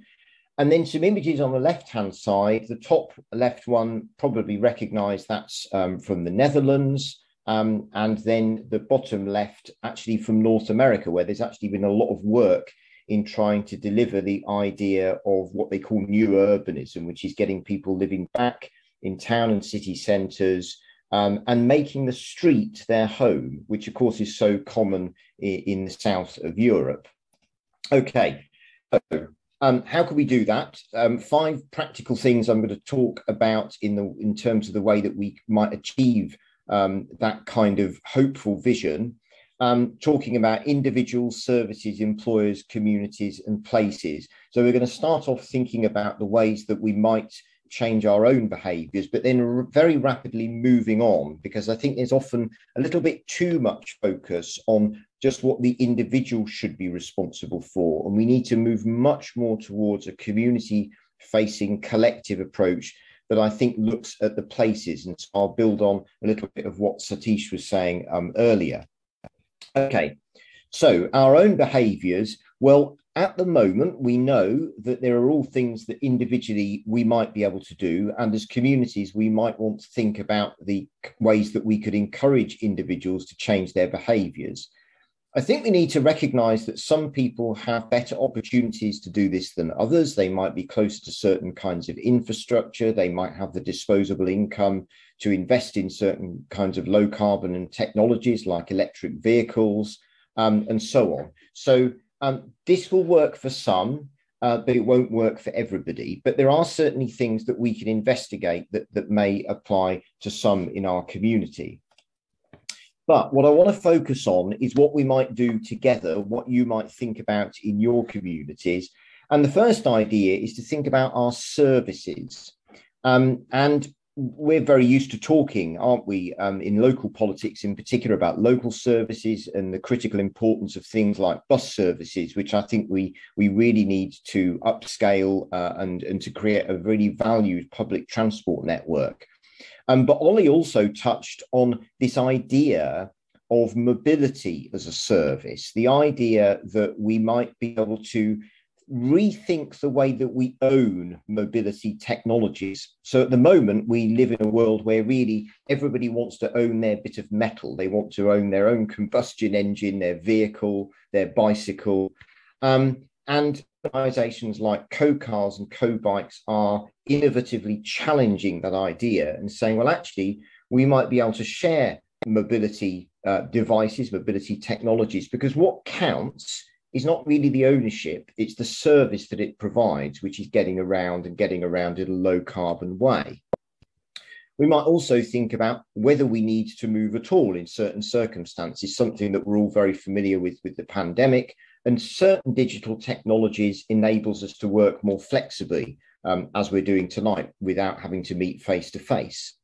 But then, as the top left image um, here points out, there are certain mobility services that are really important to people's health and well-being. Um, so we ran a workshop um, with some stakeholders in Devon about six months ago, and they told us all about the real importance to people's welfare to reduce isolation uh, for those who may live on their own, particularly those who uh, are in um, elderly communities, and the importance of getting on the bus to go to the health centre, to go to the shops, to meet people. So sometimes we'll be able to substitute mobility for digital technology. Other times we do need to. We need to think how we can do that in um, the lowest carbon way possible and also to reap the benefits for sociability in, in mobility. Thirdly, we can do a lot in our communities to work with employers for people who do that daily commute. Um, here are some examples that we already have in Devon. We've got uh, the car sharing scheme, we've got the national cycle scheme, which provides a way for people to get um, a reduced cost bicycle if they use it for work. We can obviously work flexibly. And the bottom right image, we can also encourage employers to put in the kinds of infrastructure that will enable people to cycle or walk to work. So having showers at work, having safe and secure bike storage, um, all those kinds of things can often make the difference between people making the decision to use a more um, active travel mode like walking and cycling or sticking with the vehicle. So I think that's really important. But the final two are the ones that I think really open up major opportunities uh, for, the, for those uh, attending this evening. The first one is to understand more about what the needs and demands are for our own communities, what the transport inequalities might be. So, who has access to certain kinds of transport and who doesn't. So, making transport accessible, not only physically, which of course is absolutely critical, uh, but, but also in terms of financial um, issues as well. Um, and what I would say here is improving for our own communities the sociability of mobility that makes it good for our physical and our emotional health. So some of the images you see here in my street, I'm in Pennsylvania in Exeter, the top right, we now have, um, we, we close our street for a, a party um, every month. So everybody can come out and play, although I think it's mostly focused on children, but it transforms what the street is. The street should be for people. It should be a sociable space. It shouldn't be a space where we as humans are relegated to the pavement we might encourage young people to cycle to school or college in a, a cycle train rather than being taken um, in a road vehicle.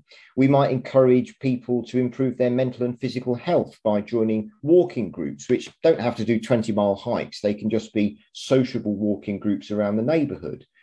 We might want to encourage people to join community running groups like the park run, particularly if people are working more at home. So there's all kinds of things that we can do to inculcate a culture of being on the street and moving actively, which is good for our physical and emotional health. And then finally, this is I'm really passionate about as a, as a geographer, a human geographer, someone who's really interested in places and how they work and how we can improve them. I think there's so much we can do at the local level through lobbying and our planning system and the ways that we make decisions about the places that we build and how we, we retrofit places we need to move away from the idea that our towns and cities are dominated by the vehicle to make them dominated by people. So the, the two left-hand images see a big contrast. Top left, classic housing estate that we will see built, being built around many areas of Devon. The image below it, albeit from Freiburg in Germany, but it shows how you can still have high density living but it but sociable space is created. That bottom space, I think nearly everybody would agree they'd rather live there because of what it looks like. Likewise, on the right hand side, a contrast between some of the really dysfunctional um, public transport infrastructure that we have all over the county compared to high quality infrastructure, which shows that that is valued. And if it's valued, people are more likely to engage with it and use it. So thinking about how we can make places better places to dwell that people don't necessarily want to move away from. So, reducing travel demand, creating streets that are for people, and in so doing, improving the quality of our own lives. last um, slide is this one, just some further examples from a great book, if you're interested in following it up, uh, called Designing the Compassionate City by Jenny Donovan, who is an architect based in Australia, but did a lot of research here in the UK. And again, these contrasting images where she says, well, actually, you send signals through what your places look like. Okay, so you can suppress the demand for public transport or you can increase it. You can make places welcoming and inclusive. You can make places uh, feel very foreboding and exclusionary. And we can we can work with the planners in our county to do this. And we, we so we know the answers. That's the hopeful message. We can do these things. They're done in other parts of the world, but we really need to get beyond the idea that it's just about trying to persuade people to cycle a bit more often and we need to transform places so that we reclaim our streets for people. Okay, I'll finish there. Thanks.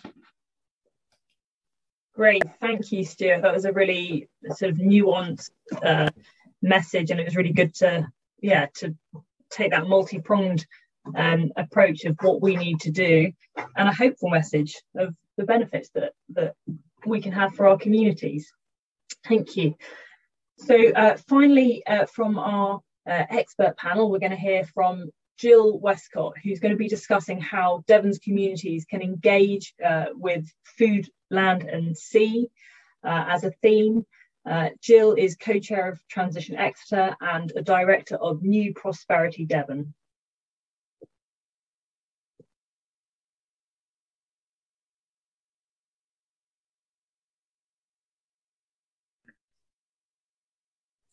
Okay, can you hear me?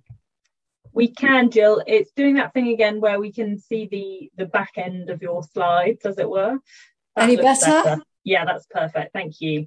Yeah, I couldn't get into them otherwise. Anyway, there, there we are. What would a net zero carbon food system look like? So maybe the pictures will um, tell the story this is on the left, a community feast, which Transition Exeter organised for people to bring food from within 10 miles. It was all vegetarian and it was delicious.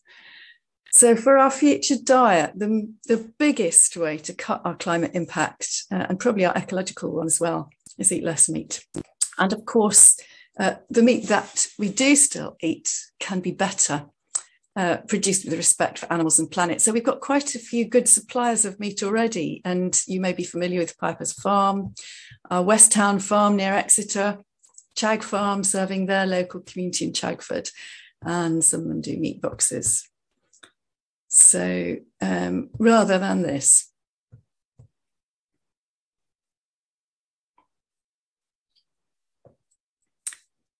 in our net zero city, everybody who wants to could grow some of their own food. And at the moment, they can do that by joining Exeter Growers Co-op and just go and do some work and take some produce. On the left, we have edible, uh, incredible edible Todmorden, who have adopted urban spaces for food growing. Uh, there's a beautiful south-facing wall in the police station. They didn't ask to grow tomatoes; they just did it. We're prepared to ask forgiveness, but not permission. Uh, let's I can carry on community orchards, um, also opportunities for wonderful community events, apple pressing, wassails, tree dressing, and so on. So, looking now at agriculture and what we do in our fields, to be more resilient, it certainly helps to have more diversity of crops rather than monocultures. And agroecology is a way of working with nature to provide some of that diversity, protect the soil, sequester more carbon and make, make it more productive. So this guy, I hope you can see him, Andy Gray, his neighbours were horrified to see him planting trees in a field, beautiful red earth. He said you can grow anything there. But he pastures there and he says it'd be better for the soil, for the animals, uh, and it'll help them withstand droughts, which we're going to have quite a lot more of. Um, our town would be surrounded with small, um, rather labour intensive farms, possibly, but producing food at quite a high intensity, like Shillingford Organics near Exeter, which delivers food boxes. And they got so much extra help during lockdown, people in, enjoyed it. In Liège, the transition movement has really encouraged their small farmers and has a wonderful, enormous food market that people go to. And maybe our cities in Devon could have that too. Exeter would love a good food market. Uh, these are the conditions which would help us to have that uh, hinterland of productive, prosperous, and non polluting food. But one of the big obstacles is getting land, as some of you will know. For people who want to grow food, there are three ways of getting land, apart from an allotment. You inherit it, you marry into it, or you become a hedge fund and earn lots of money and buy it. Otherwise, there are relatively few tenancies and it's really difficult. You can buy a field, but you won't be allowed to live there unless there is a one planet living policy. Uh, and this is a lifeline to people who want to grow food on a small scale. So I believe Dartmoor National Park now has one. Uh, Dorset was one of the pioneers, uh, as was a place in North Wales. So the, these two families bought 40 acres, and under the policy, they were allowed to build a removable building, which would leave the land intact if it was removed, and had five years to prove they could make the relevant income, which they did, and they're now allowed to build a house. So it's uh, a mixed farming uh, again, quite labour intensive, producing fruit, vegetables, and dairy products. And they also talked to the other smallholders roundabout, got together and built this uh, traditional uh, cruck timber barn with help from English Heritage. So f- this helps all the smallholders to process their food and market it. They make Windsor chairs in the top butchery, apple pressing, and uh, bottling plant in the bottom, and a shop. And in the uh, basement are huge vats of cider. I don't know how they drink so much. There's Jyoti with her cheeses. Um, these are some of the things that farm support could provide. And in our uh, zero task force, we've really heard about the need for unbiased and helpful one to one advice for farmers, as well as signposting what national policies can give them grants for ecosystem services. A lot of small farmers need marketing support, um, and the, the cost of labelling whether food is polluting or not shouldn't really fall on the cleaner producers, it should fall on the more polluting producers, which is the opposite from now. Tamar Grown Local is another bunch of co ops um, in the Tamar Valley in the um, border with Cornwall. And they too um, help. They have a honey co op with um, equipment to use. They have shared growing spaces and work days, uh, shared marketing, and uh, apple processing. They also have starter units for new growers, which they actually provide and support new growers to prove their enterprises where they can move on to um, better things. In the Devon Carbon Plan, we see the need for a land use framework which identifies which bits of land are best used for certain purposes. So we have farmers inveighing about growing maize at vast energy cost on slopes and ruining the soil. Some areas may be best for um, nature recovery, some for arable, some for permanent grazing, some for um, reforesting and rewilding or timber production. And it's helpful to signpost the grants that might be available for these things to the land users.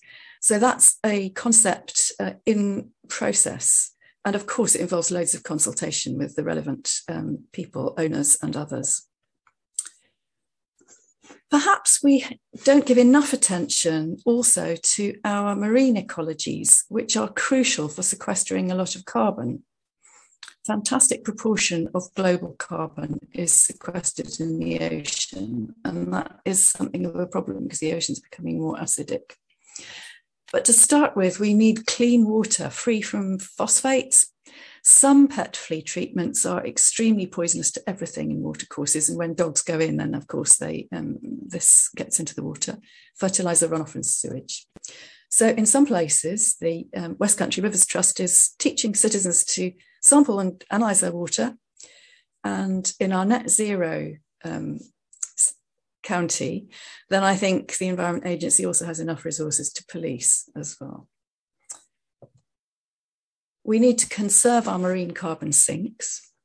So there are quite a lot of these, and some of them are at risk from current fishing techniques. And marine protected areas are not sufficiently protected from this kind of destruction. So things like kelp forests, seagrass beds, mussels do a great job of sequestering carbon in their shells. And also our coastal sinks, like salt marshes. So should we allow, as the sea level rises, our edge to come inland? That's a management issue, and probably more discussion about that is needed. Overall, I don't know why there's this odd thing here, but anyway, what does the sea provide? We don't always know. So we need to know where our carbon sinks are and what our, our most productive areas of sea are, and to be able to protect those assets and work with all the people who use them and benefit from them. And also, we need to cut plastic waste because this diminishes marine productivity and it um, inhibits the ocean's uptake of carbon. So, huge amounts of marine gear are dumped at sea. And we all know that we have to work hard to reduce our own output of plastic waste. Thank you. Thank you, Gill. That was a, a delicious and nourishing vision of the future that's probably all got us uh, musing on dinner. um, yeah, lots, lots to think about the changes that we can make there. So uh, that completes the introductions from our expert panel, um, and I'm going to hand over to David now uh, to take us on to introducing our communities. Thanks, Emily. Yeah, um, that was great from all our speakers we're running a bit over time, so we're going to kind of move, improvise on our feet to make sure we try and get through things and time available to us. But we're going to meet now the communities who are working with us in particular locations across Devon to realize kind of set piece visions where they live. So I think we're going to have them spotlighted, whatever that means, on screen all together by Rosie. I think that's working. Um, and so we're just going to go around and ask people to say hi, where they're from, and some kind of key things about their location and their community. Um, so I'll go around on the order of my screen. Meg, could you start us off? Hi everyone, I'm Megan Snell. I am based at Exeter College and I'm the Personal Development Manager. Um, and a key role for us at the college is about engaging learners, and that's a, a massive part of my role. Um, so I lead on our student union and also our um, uh, environment and sustainability group. So the main thing for us is about embedding it into our curriculum to obviously educate our young people and also to get our young people involved in all of our initiatives. Thank you. Gill. Hello, uh, I'm from Transition Exeter, which uh, is the local transition initiative, so since 2006. And we support community action for uh, cutting carbon and making a, a fairer, more sustainable city. And uh, Megan, if you've got students who'd like to be involved in us, we have room for an intern or two. Thank you. Uh, David from Torbay. Oh, you're muted. Okay, that's it. Good evening, everybody. Um, yeah, great, great uh, meeting so far, or great uh, workshops. And uh, my name is David Durant. I'm co-founder of Torbay Climate Action, based in Torbay. We recently um, formed CIC, went CIC to enable us to attract funding to develop some projects across the Bay in 2022.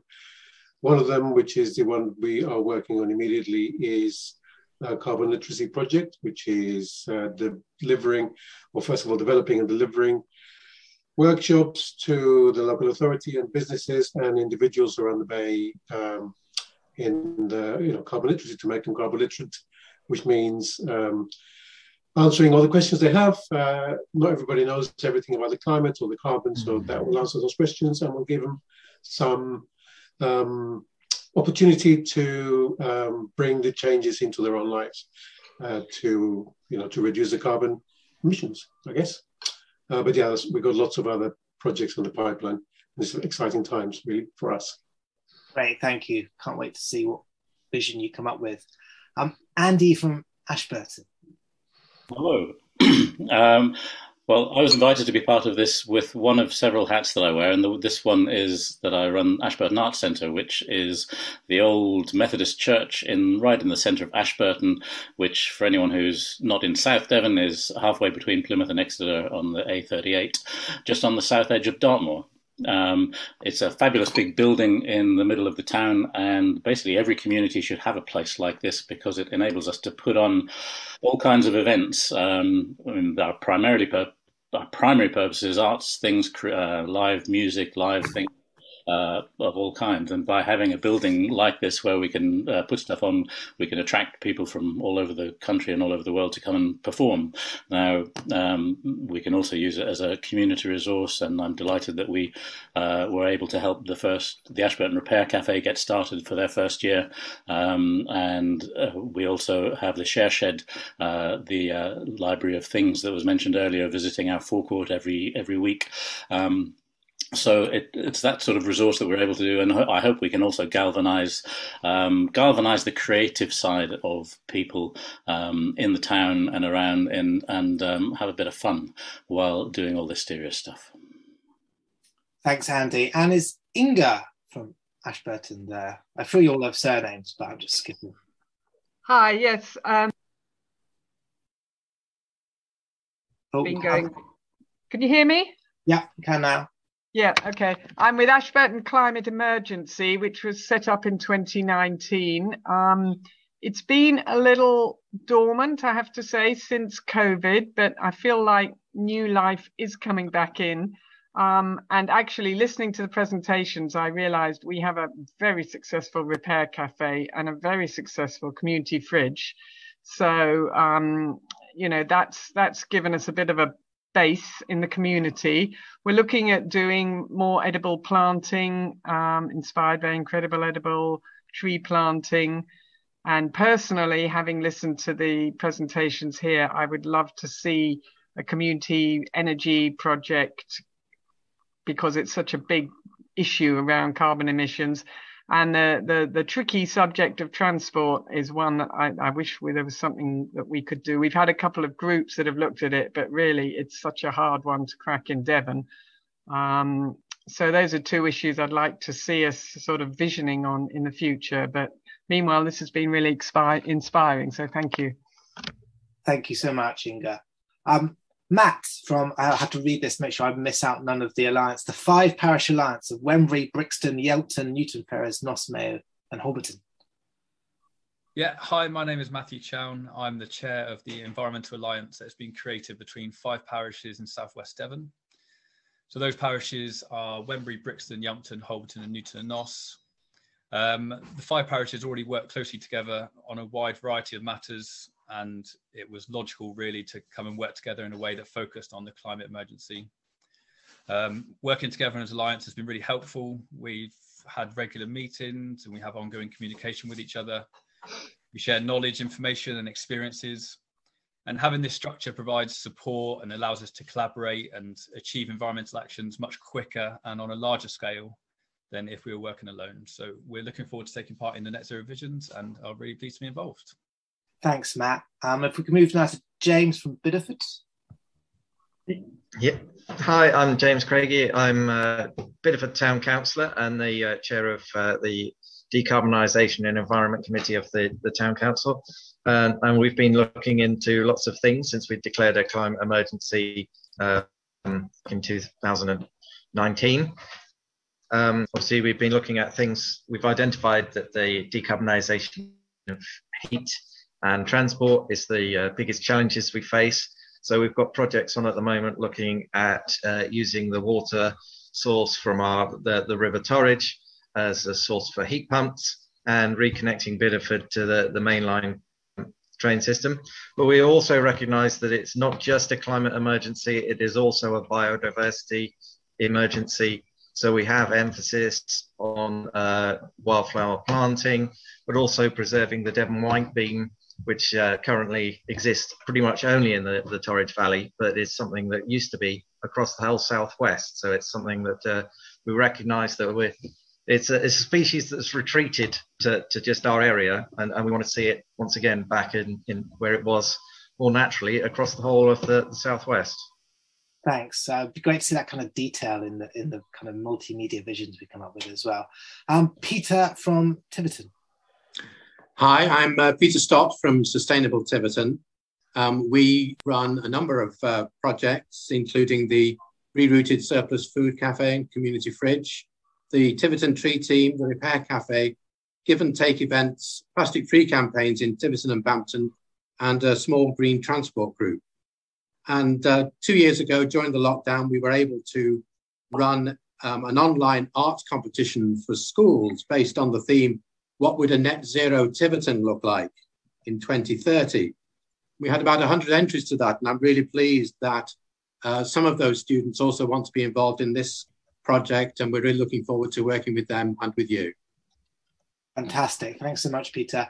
Um, and we'll also be working in Plymouth with um, Nudge Community Builders. I don't think Hannah is here, correct me if I'm wrong.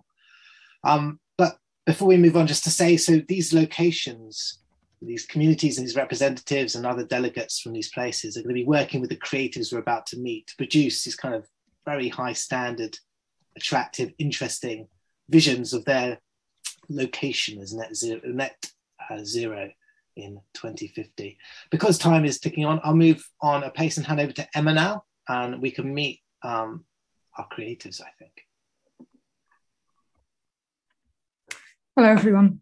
So we're getting onto the, the part of the programme where we meet the creatives that are going to be putting into action some of the visions that um, the communities are developing. And as James pointed out earlier, it's not about um, visualizing um, something completely from scratch. It's about building upon all the good work that's there already and also looking at the infrastructure and the places and the, the people and how things are operating there at the moment.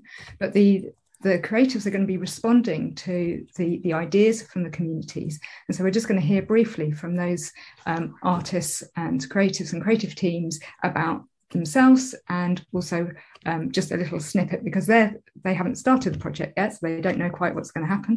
Um, but they're um, just going to say hello and um, just so everyone knows who they are. So um, I hand over to Alex Riley. Is that Alex in the room maybe we start with um, with Ashley Potter and team thank you Emma um, I'm going to share my screen obviously and hopefully you would have thought I'd have it ready by now, wouldn't you? Anyway, here we go.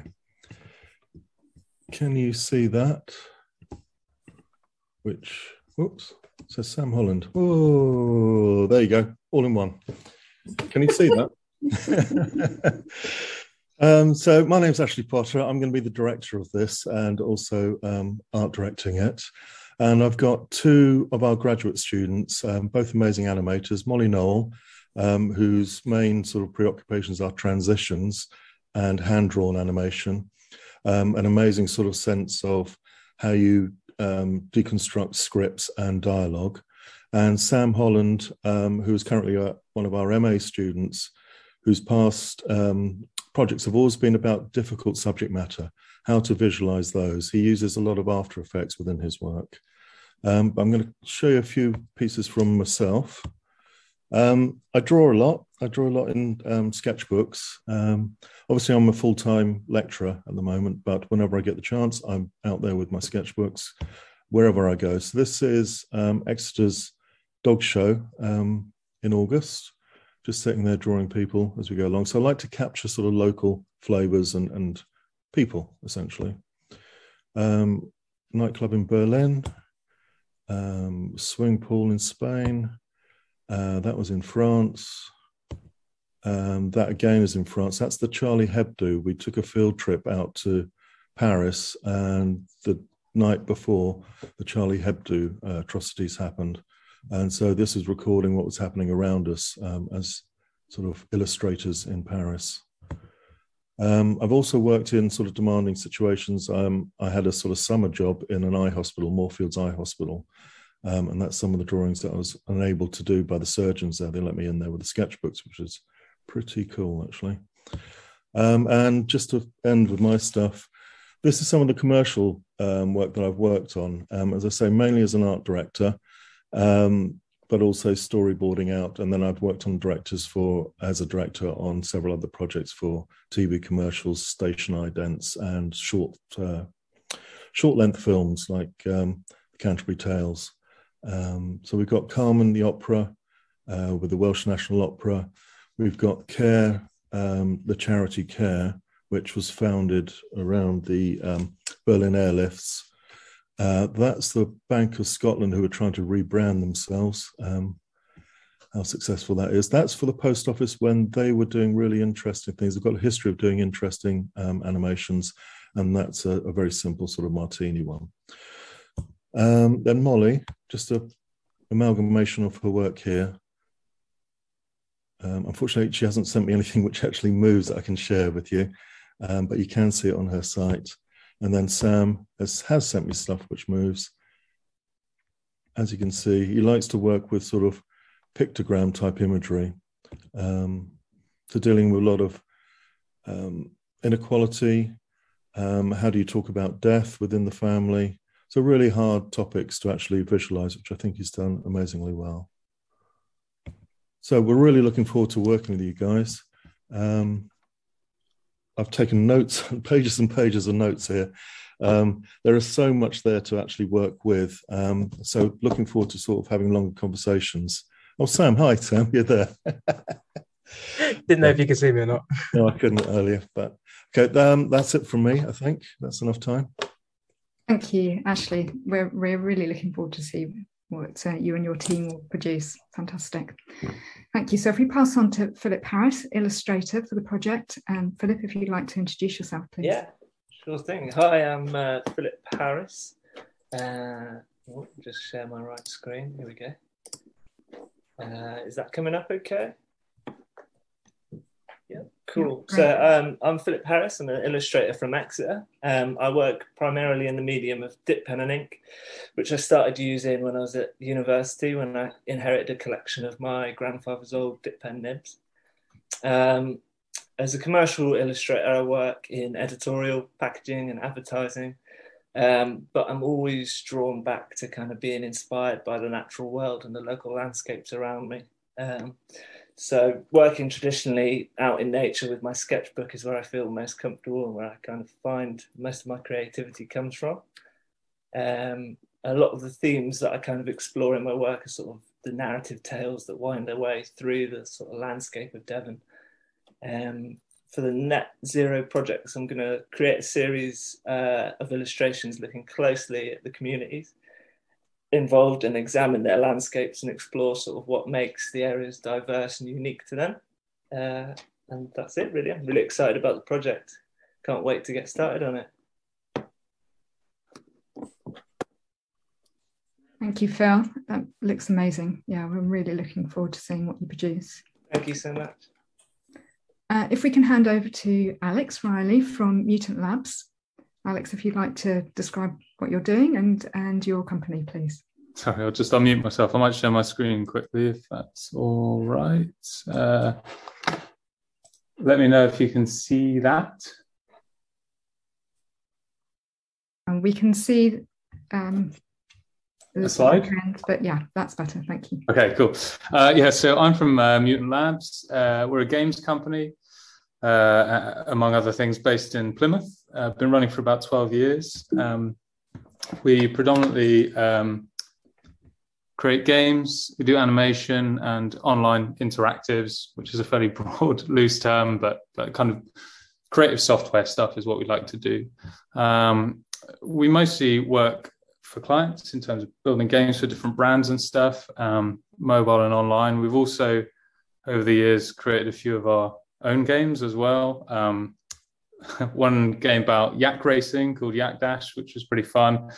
Another one about diamond heisting, um, and uh, yeah, I suppose generally we just try to find game projects and clients that are slightly offbeat or interesting or exploring um, concepts that, that are of interest to us. And we had quite um, a strong emphasis on R and D, so we set up this thing called Free Range Fridays, where at least one Friday a month, we would work on our own projects outside of the client work that we were doing to try and keep creativity flowing. Um, so for Net Zero Visions, um, we're going to be creating a series of mini games. Um, these will be web-based. We're kind of looking at putting an emphasis on on kind of quick fire, fun, engaging gameplay um, that that you can kind of repeat play and get a high score and um, you know keep people coming back to play these. And these will be based on um, some of the locations. I'm really looking forward to working with the partners from um, the various locations, parishes that we're hearing from. Sounds really cool. Um, and we're going to try and represent those locations uh, in these games that we create.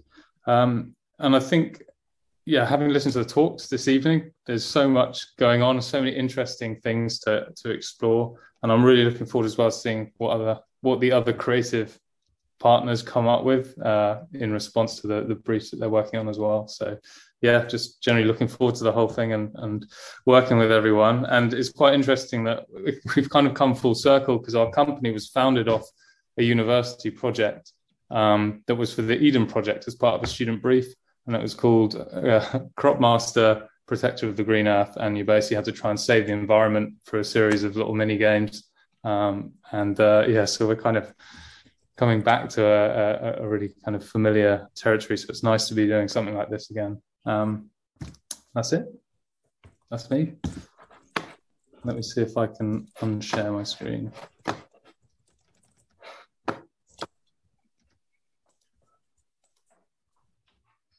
Thank you, Alex. I think it's super exciting to see the, the, way that not only can the community sort of feed into the mini games and how they will work, but also um, how it goes forward and how they engage with the games um, through the leaderboard and how communities can um, begin to have see in the virtual world as well as in the physical world how their actions can can have a beneficial effect. So, mm. Fantastic. Um, Kate, um, Kate Crawfurd, um, Precious Plastics Plymouth, uh, also um, mural artist um, and scientist combination. Um, Kate, would you like to introduce yourself and, and, what you'll be doing in the project, please? Thank you, Emma. Um, thank you, everyone. It's been fantastic evening of talks. Um, so I'm commissioned to paint mural, murals on this project, which for me is just a dream come true, really. Um, it combines all my skills and my passions. Um, so I've been painting big murals since I was about 12. It's just the scale that I like to work on. I've also painted a lot of theatre scenery around the world. And so I'm quite used to painting in kind of any style as well, which is really interesting. Um, but at some point, I became really concerned about the environment. I came to Plymouth and um, studied marine biology, uh, looked at the plankton and how they would respond to future carbon dioxide levels. So I can approach this as both an artist and a scientist. Um, and I just I, I think this is an inspired project really that if we can envision the future then we can change it. I, to be honest i've never actually thought about it before but when i did i saw the power in it. Um, so i'm just really excited. So thank you very much for um, for inviting me onto the project. Thank you kate. And your murals all over the county um, are already inspiring people. So I think that this will be a, another um, another way that um, you can engage with people's visions, which is is just brilliant. Um, so another part of the project are student commissions, and so responding to Kate's murals, the, there are three student augmented reality commissions, which will bring um, Kate's murals to life in a different way. And so people can engage with those. And so we have three um, student commissions. Um, there's Lewis Horsfield, who's here today, who's going to say hello. There are two further um, student commissions as well, um, who are here in the background. Uh, they may be saying hello. Um, that is Aaron Allchin and Rosie Carter. So they're all going to be producing very different um, works in response to Kate's um, visions. So um, Lewis, over to you if you'd like to say hello. Hello, I will share my screen. Right, does everyone see that right? Yeah. Awesome. So Um, yeah, I am a third year graphic design student at the University of Plymouth.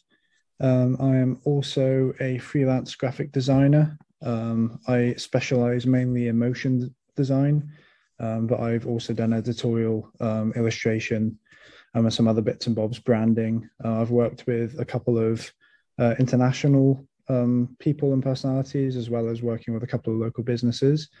Um, yeah, so that's me. I, I basically just make stuff. Um, this for this project, I'm mainly going to be doing transformative stuff. Um, I'm grateful to be able to work with Kate's art. I know it's just going to be incredible. Um, I can't wait to see what you produce. Um, I'm also the chair of the Design Society at Plymouth University. So we just do stuff like this when we get in Zoom meetings and we get uh, industry leaders in graphic design and motion design to give us some talks, um, to part their wise knowledge upon us. Um, and yeah, that's that's basically me. Um, I'm glad to be a part of something that has meaning, has purpose. As a graphic designer, you kind of strive to have a little bit of meaning amongst all of the um, capitalism. So I'm glad that I get an opportunity to lend my hand to something that has a little bit more substance to it. Thank you. Thank you, Lewis. That's fantastic. And um, in the background, we have Aaron Allchin, um, who is another one of the Augmented Reality Student Commission. So, Aaron, if you'd like to introduce yourself, and Rosie, I think you're going to introduce too. Uh, yeah, I'm going to introduce as well. Uh, hello, my name is Aaron. I'm a student at Plymouth University. I'm working on the game design course, and I'm second year. Uh, my specialism is 3D art. So for the murals for the augmented reality, I'll be making models and animating them. And so, for instance, if it was like bees and like flowers and things like that, I could animate the bees moving and pollinating flowers and things like that. Um, and Rosie is a digital 2D artist with a focus on game design, and she'll be working with me to make textures for the models that I'm creating for the project. And that's basically it. Great. Thank you, Aaron. So thank you everyone, all of the creatives. Um, so this is just the beginning of the project. We're just at the very start and the next stage um, David's going to talk to us about now and just uh, very briefly because we're running over by a couple of minutes, but just to give you a sort of taste of where things are going next. So thank you everyone. and thank you all the creatives for, for coming and just saying hello to us and giving us that little bit of more inspiration um, for where the project is going. So I'll just hand over to David now. Thanks, Emma. I'll wrap up at, at top speed, so I won't say much. Um, we're nudging over, but I'm sure you'll agree it's worth it. Incredibly exciting to see all the all these places and things that are going to be happening. So uh, wrapping up, we'll be in touch with communities, representatives, creatives um, into the future. She's also stressed there's going to be scope for individuals to submit their own net zero visions and to be included in the project in that way to make your own um, in partnership or on your own as you see fit. Um, there'll be resources for that. We're keen for people to use this um, schools, have been mentioned, but in places they work, people they work with, friends. Eh, we want to see it kind of travel organically through Devon. Um, the website is up. There'll be more information and resources and materials continually added to that. So the web page is on the Devon Climate Emergency website. So keep checking into those. Um, do sign up for the newsletter as well if you haven't already. Um, we hope you've enjoyed the information and ideas, and thanks to all our speakers for giving up their time this evening. At one point, we had a, a top of not, more than 90 people nudging into this Zoom room. Um, it would be really helpful to us if you could fill out a survey form to give us some feedback. It would take less than five minutes. I put the link in the chat. Um, and so I'm going to wrap up there um, just to say keep checking the website, look out for the newsletter, and really look forward to seeing where this goes. Um, everybody's earned a nice cup of whatever they fancy tonight, I think. Um, so look forward to seeing you into the future. And yeah, good luck and good imagining. Bye bye.